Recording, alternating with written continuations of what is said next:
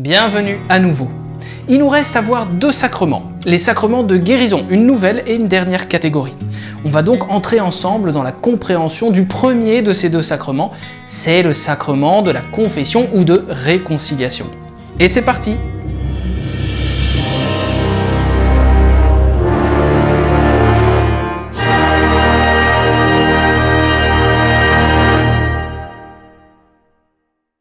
Alors le sacrement de réconciliation, c'est un sacrement de guérison, c'est-à-dire qu'il est là pour accompagner et pour soulager les malades, ou en tout cas ceux qui souffrent dans leur âme.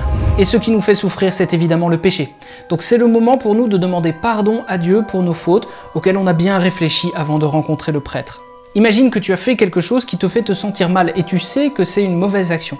Alors tu vas regretter cette faute et tu vas aller voir le prêtre pour qu'il te donne le pardon de Dieu. C'est difficile parce que tu dois avouer à un homme que peut-être tu n'as jamais vu une faute, mais attention, il ne va pas te juger et il ne va jamais, jamais dire aux autres la faute que tu lui as dite. Ça, c'est le secret de confession et c'est très important. Tu finiras en disant une prière qui montre que tu es vraiment désolé et que tu veux changer. Alors le prêtre va imposer les mains et va dire la formule pour que tes péchés soient pardonnés. Ce n'est pas lui qui te pardonne tes péchés, évidemment, c'est Dieu qui pardonne à travers ses mains, même s'il est lui-même un pécheur et qu'il doit lui-même se confesser souvent.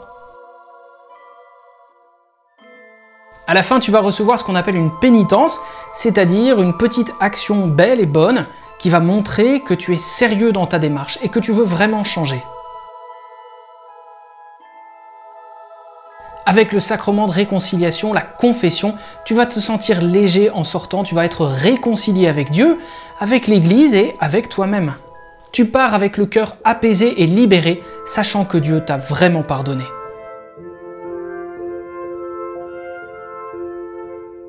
Bien sûr, on fait tous des erreurs et c'est normal, mais le plus important, c'est que notre conscience nous aide à demander pardon. On peut répéter souvent nos fautes, mais à chaque fois qu'on va se confesser, on reçoit un peu plus de force pour les éviter.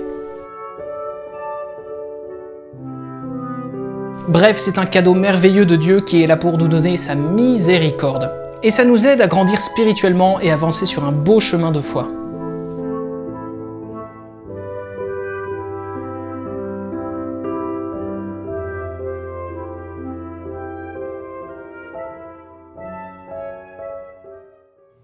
Voilà ce qu'on pouvait dire sur le si puissant sacrement de la réconciliation.